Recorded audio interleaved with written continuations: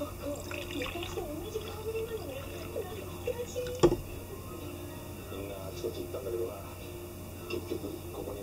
everyone, Charlie here. Hope you're all doing well. Welcome to another episode of One Cuppa.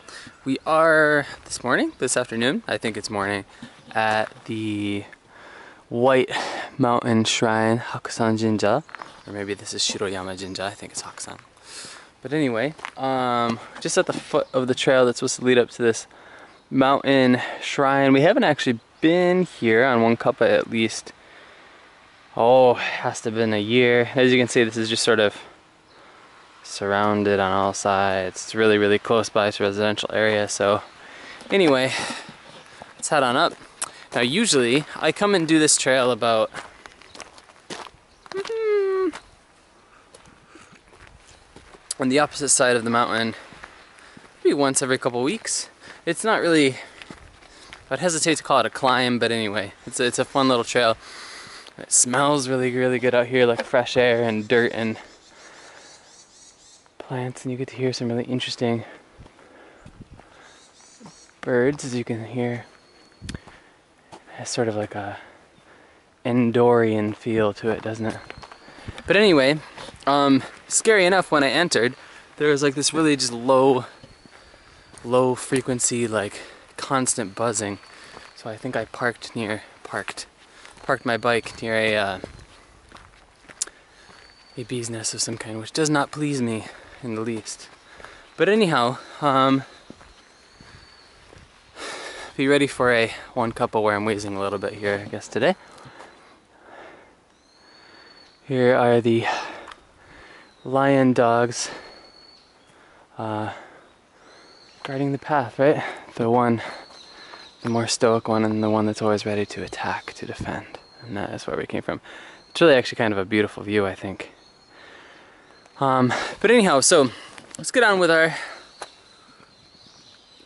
topics slash viewer questions. So as always, I went to Twitter on Saturday to ask you guys what you wanted, uh, if you had any questions to ask me, uh, because I'd planned to shoot one Cuppa Saturday night, which in fact I started to, but then it poured so heavily that it was just impossible to finish it up. So I apologize for this being a little bit late. But um, Mel of Nippon Culture Quest asked, what is my most memorable experience, experience um, so far in Japan?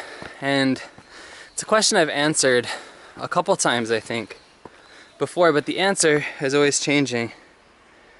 Oh, I don't know if you guys can see, but there's just this trail of ants going back and forth. I wonder what they're working on. Yeah, look, all the way across,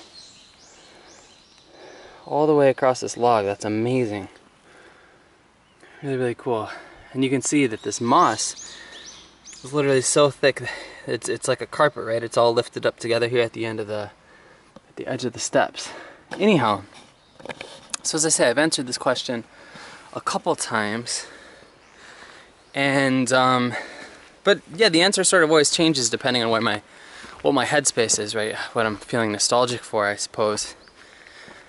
Uh, and um, the truth is, I don't read at this very second, let's come back to this question because I'm, I'm having a hard time saying which exactly is my most memorable. So we'll go on to Granny's question, which is, what do I normally eat when I'm uh, when I'm at work, when I'm out and about, when I'm at home cooking for myself. When I'm at home, I eat sort of really traditional Japanese food. Oh, ah, konnichiwa.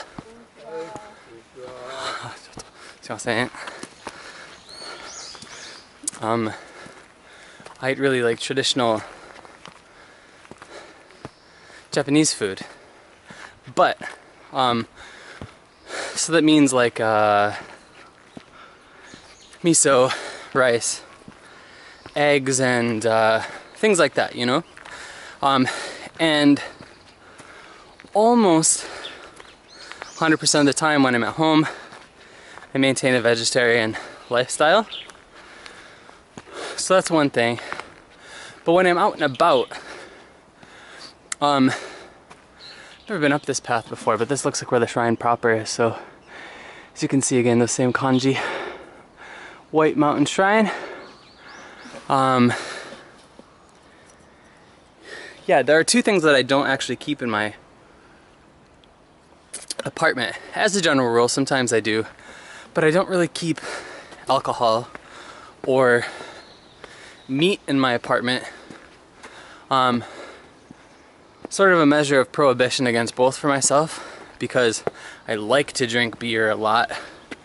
Um, if I drank it as much as I wanted to, I guess, I would be, I'd be a lot heavier. It'd be really difficult to maintain any sort of semblance of being in shape for running, keeping my weight down and stuff like that. And wow, this is just a tiny little, tiny, tiny little shrine here atop the mountain.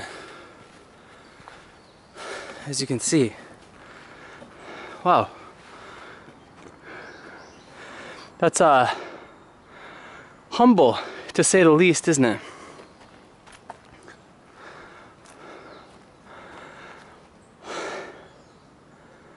Wow. That's really quite beautiful in its own way. Um, but yeah, I don't keep alcohol for that reason. And it also keeps me from drinking too much when I go out on the town because if I'm drinking, usually I just want to drink beer. Like I said, I love beer, but like a what do you call it, jockey, like a pretty sizable glass pint of uh, I think it's a, it's a little bit bigger than a pint, but anyway, a glass of beer is like depending where you go, anywhere from 500 to 700 yen, which um, adds up really, really quickly if you're looking to get a little bit shitty. So that's one thing. But also, I don't keep meat because meat is kind of expensive, but also trying to limit how much of it I eat. Um, just because, man. Don't get me wrong, I love, I love the taste of meat, but there are moral implications which I have struggled with for a long time. But I'm not ready to cut it out completely yet. So when I do go out, that means I go to places like yakitori shops and izakayas where yakitori, of course, like I eat like offal, like uh, inter- like organ meat, right? And then I don't want to talk about it too much because I know some viewers don't like are like true vegans, true vegetarians who don't like talking about this kind of thing. So, um, but like tonkatsu or yeah, anyway, that's when I get my meat fixes when I'm out and about. So, um, back to Nippon Culture quests question. Actually, this reminds me. Um, there's a friend of mine who sadly I haven't seen in I don't know, four or five years. And the thing with friendship, right, is that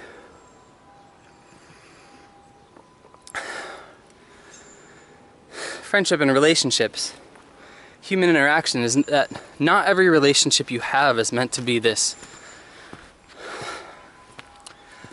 constant, everyday sort of, how are you doing? I'm fine, sort of mundane small talk sort of thing. Of course, those relationships are great, right? Some relationships are meant to be you really, really um, which way should we go? This way we'll go up to the head of the mountain a ways away, a little bit further than I actually want to go today, so let's go this way. Um, in other relationships are meant to, in their most intense form, I think,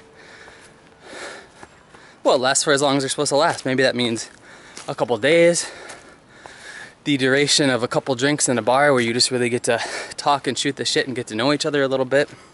Whatever the case may be, in this case, this friend, a guy, a friend of mine named Daisuke, um, he was at my university outside of Nagoya. And we were very, very close friends for about a year and some change. So about the duration of my stay at that university and then and then some. And um, you know, the most, we did the most normal thing, you know, we went out to an okonomiyaki shop. It's the first time I'd ever had okonomiyaki. Um, if you don't know okonomiyaki, it's often sort of called like a savory pancake, which I guess is kind of close to the truth of it, but it's like it has stuff in it. So it's more like batter with stuff in it, and it's just as much made of cabbage as it is of batter. And then there's like bacon and squid or crab or whatever the case may be inside, and it's covered with like a savory sauce and some mayonnaise. So, anyhow, but I can remember this was 2000.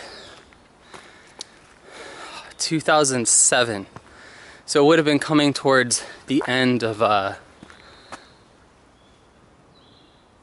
the Bush presidency.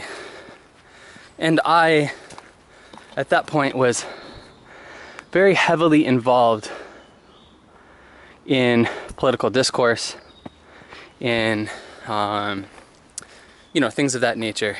Uh, heavily involved in animal rights, human rights, and I still am now, but to a lesser degree. And um, anyway, without without beating the story to that, basically, basically, basically, um, we just had this wonderful conversation while we ate and drank and uh, and uh, yeah, and it was just this meeting of the mind. I wonder what kind of pretty little bird that is. Oh, anyway. The smell. It's beautiful, beautiful in here. I wish, I wish, I think I said this before, but I wish YouTube had smell-o-vision so you guys could smell just like the damp earth around me. It's just the most incredible smell. Um, and yeah, I mean, really, in in comparison to other experiences I had, it's it's not terribly unusual to people go to a restaurant and have conversation. But it, it at the time it was such a deep, meaningful conversation. I connected with this person through his broken English and my very, very, very poor Japanese. Like I'm talking pre N5 level Japanese in a way that that was just kind of it felt really profound and looking back on it it still holds that that sort of feeling for me so um, not an awful lot of color besides green out here I expect to see a little bit more of uh, little more wildflower in here, but of course, it's not exactly sunny, is it? So anyway, that is that is at this moment my most memorable, my most memorable um, experience, I guess, in in Japan. At this moment, it'll probably change in five minutes from now. But anyway, so I want to get on to topics, um, and the first is, uh, I'm sure, maybe many, many, if if not all of you, have had the experience where um, you've gone to see a movie, right? Harry Potter is the most popular example, I think. Um, you've gone to see the movie, and then you've talked about it with a friend who is a die-hard Harry Potter book fiend, who then proceeds to launch into a diatribe about all the ways that the book is better, right? And for the record, I am guilty of having done this before because there are times when movies, all right, movies need to be able to take, I don't want to go up that hill. I'm having flashbacks to when I walked through there and got a face full of spider webs. I hear you, little buzz buzz, wherever you may be.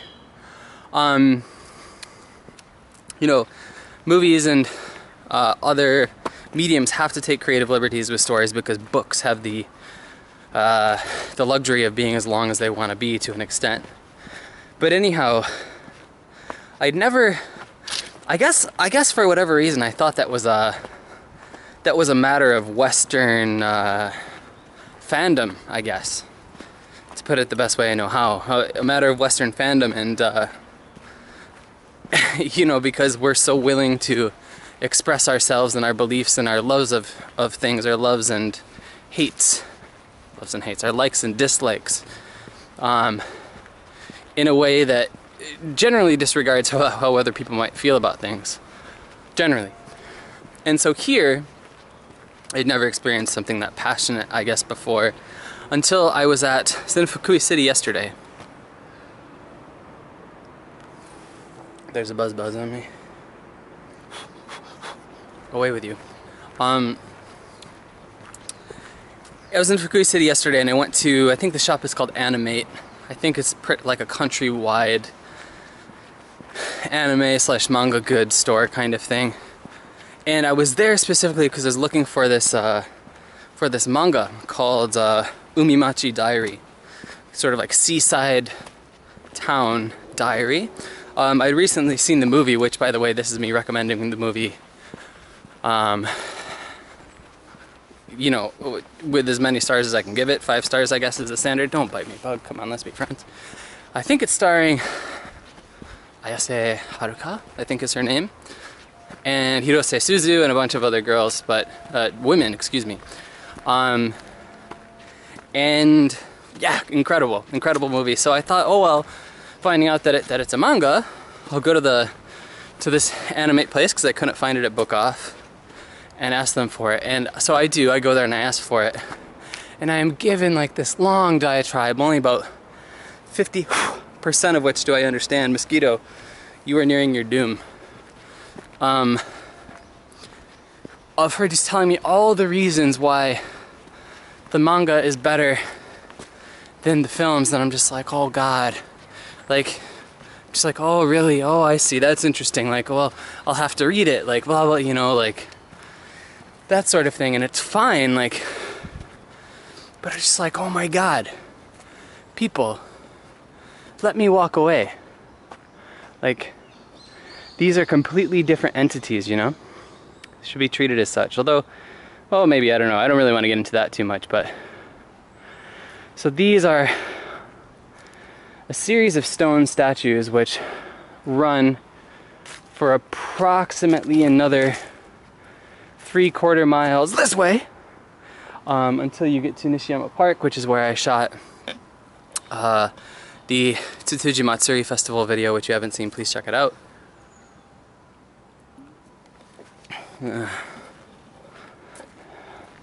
The Buddha and some of the some of the guardians along the way here. Really kind of cool, really spooky the first time I came upon it because it was it was dusk and dark and orange in here and I don't know, it creeped me out a little bit. But um, yeah, so I guess it was just it was just interesting to see the sort of like IP snobbery, for lack of a better way to put it, sort of exist over here too. Is the first time I've experienced that sort of like uh,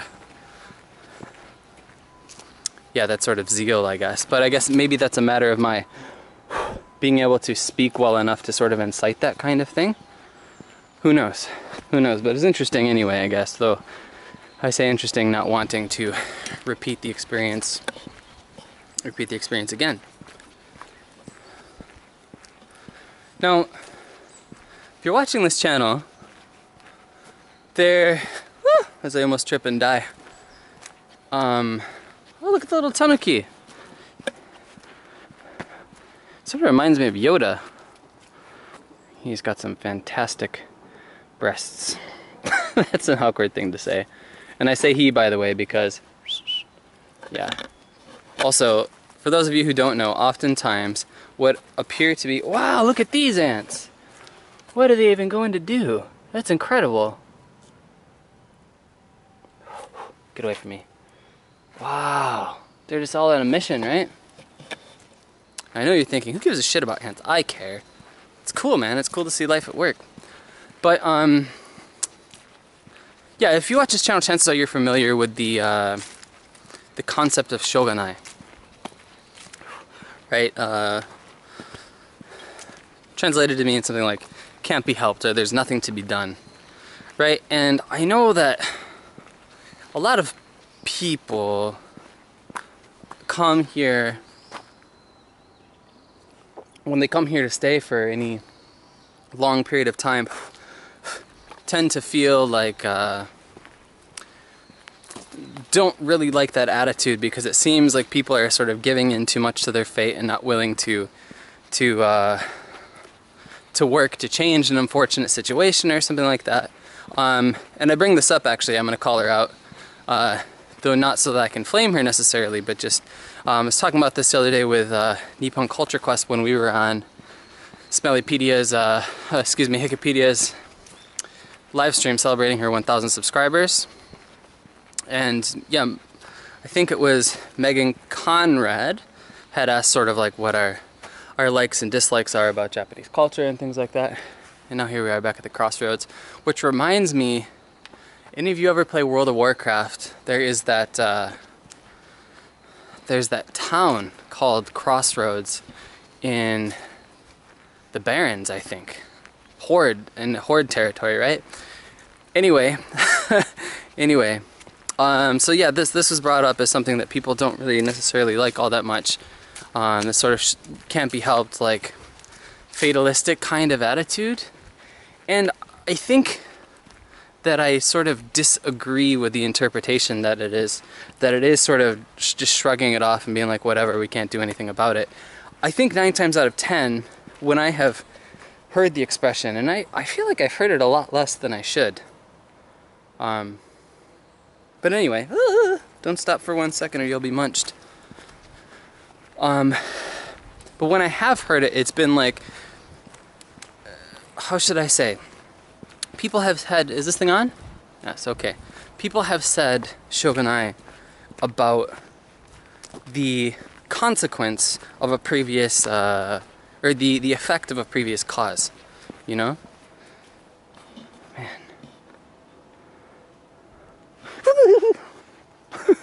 was that noise I just made?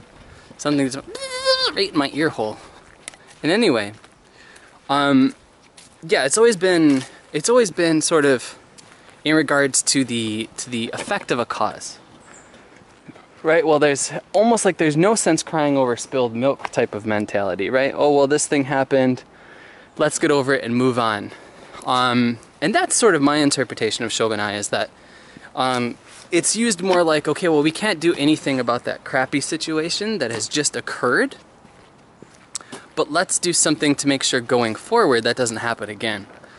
Right? So that's why I guess I sort of differ with a lot of the interpretations of it. I don't think it's like a, a fatalist, like, oh, accept, like, that's just how things are, that's just how things were going to happen, like, you can't do anything about it. I think it's more of like moving on and doing what you can to make sure that the situation gets better from that point onward. So I'd be really interested to hear what you guys think about that. Maybe I'm really off base, um, but I don't know. I, I guess I am, that is sort of my mentality. Like, I use Shoganai a lot. Um, when things go crappy at my school, it's like, okay, well, well, sucks to hear that that you know X student has left the building temporarily or whatever. Um, but let's do what we can to make them happy, to to show our value, and to and to get new students and stuff like that, right? So that is that is that is what it is to me.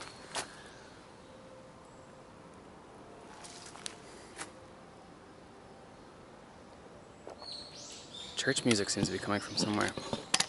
There's one more topic I wanted to make sure to cover, and I actually wrote them down today to make sure I wouldn't forget. Be patient with me here for a second. Oh, this. Mosquito. I warned you. Apologies for your untimely demise. Um, for the last two, three months, three months now, I've been giving time. Do you hear that? Up at that mountain I told you about, uh, where we shot the Tsutsuji Festival, at sunrise, noon, and sunset, they play different songs from Ghibli movies. This is a country road.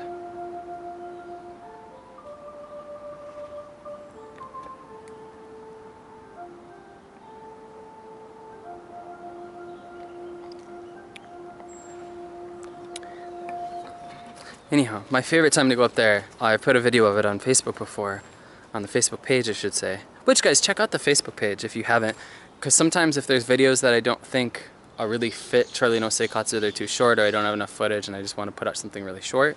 Um, there are sometimes like bonus things, for lack of a better way to put it, on my Facebook page. Um, and oftentimes they're also on Twitter, but they're shortened versions because Twitter can only has a 20 second video limit.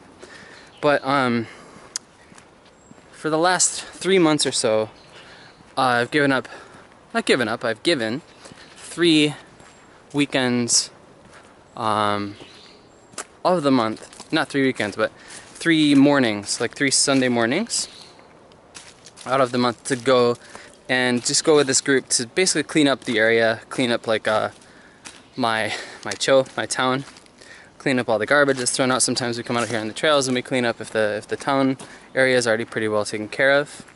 Um, but and and it's been fun. I've met some cool people. They're they're older older people usually, so I don't really like hang out with them kind of thing. But it's been fun to see them from week to week and talk to them and and share experiences. You know, they and I always really like talking to people who have that wisdom of a of a of a long life lived. You know, but there is this one dude, this one old guy who just um where are we going down here? There's something down here. Oh, that's a parking lot. But anyway, that's not where we're headed. There's something off to the left here. It might be. I'm not really sure.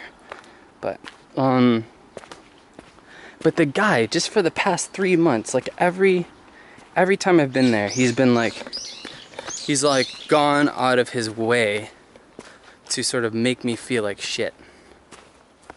Like wow, I am sweating profusely. What is this? So this over here is obviously a small graveyard. There's a very big bumble up there. Ah, this is the memorial park. Um, and I mean, so whenever I have been there, like stabbing garbage and putting it in a bag, he's like, he'll comment on the speed at which I'm doing it. Or, what are you, kind of bird? You're very pretty in yellow.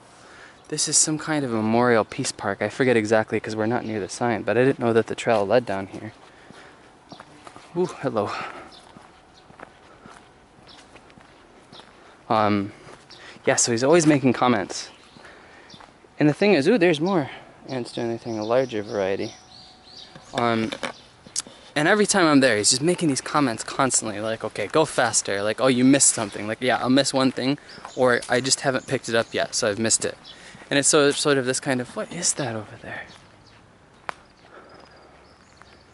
Yeah, here's the memorial park where, oh, where, I think it's just a graveyard, but there is, there's a particular reason for the graveyard being here besides just to commemorate the dead. I think maybe they're war dead or something like that. I hope it's okay for me to be in here, but the trail had no had no sign saying I shouldn't come in.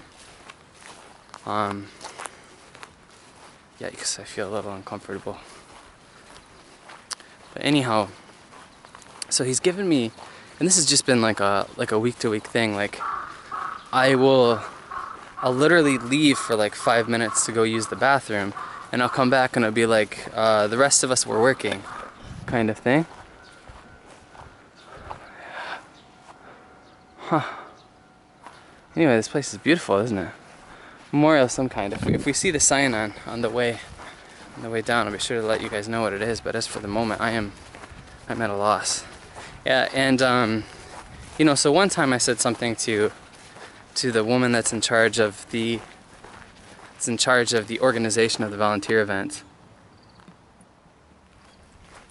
And um, you know, I thought maybe that would be that, like he would be talked to and that would be like enough is enough. And so come to find out, you know, come to find out, like, either nothing was said or the guy was just like, oh, I'm not listening to what, what she has to say, like, the, this kid can deal with it kind of thing. And so I'm there yesterday morning, and he doesn't say anything directly to me. He's just sort of grumbling to himself, saying like, "Oh, the freaking American is so slow. Like we don't have time to be waiting around for him."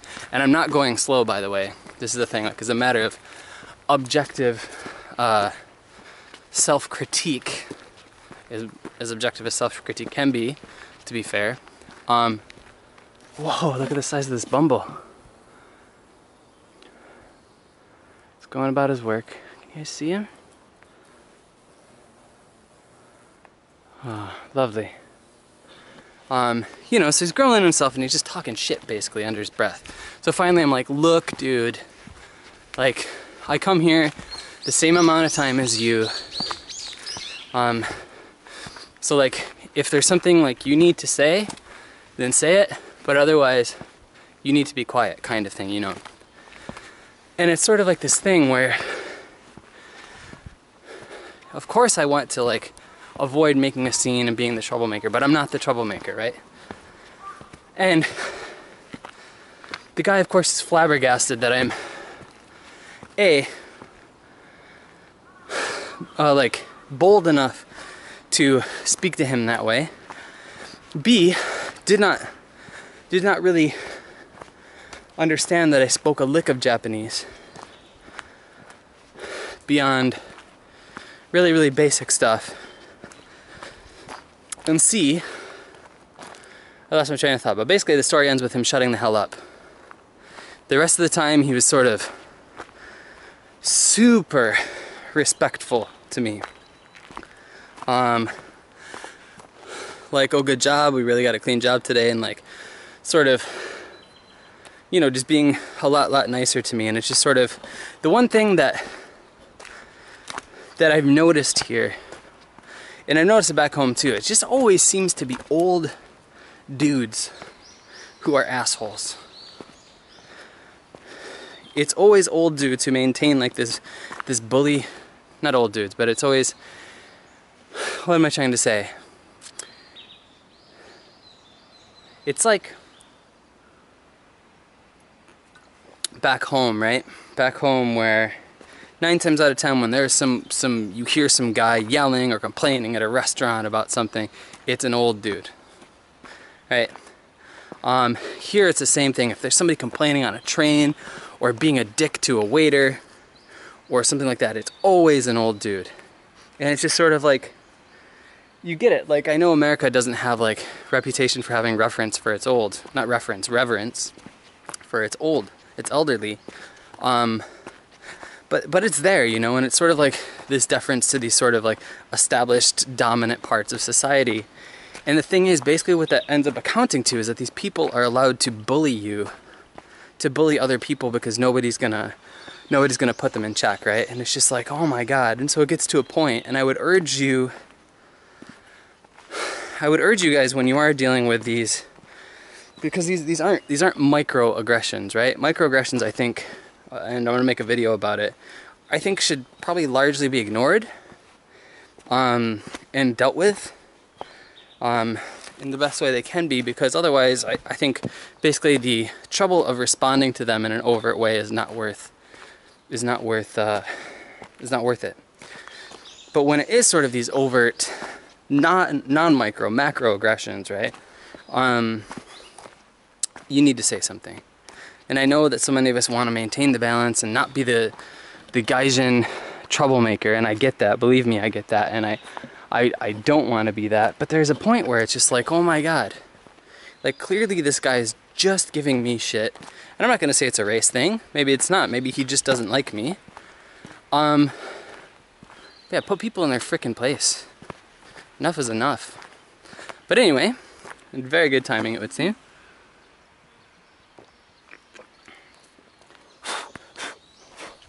Be gone.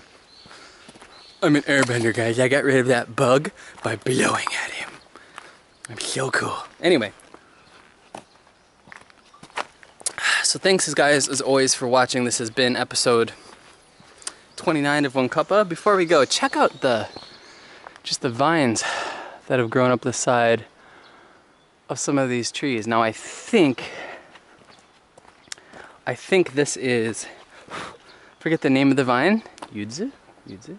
Anyway, um, but basically these have actually come to North America, my part of uh, North America, and are invasive and are choking out a ton of uh, a ton of local plant species, which sucks. But they are really, really pretty, I think, to see them trailing up the trees like this. Very large, would appear to be some kind of red pine, perhaps.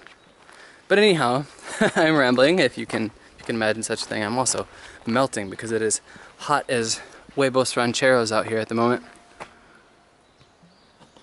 But on that note, as we walk back through the, the God's Gate on the God's Road, on the Shinto, um, that'll be it for me. Thanks always for watching. Let's take our last sip of our cuppa.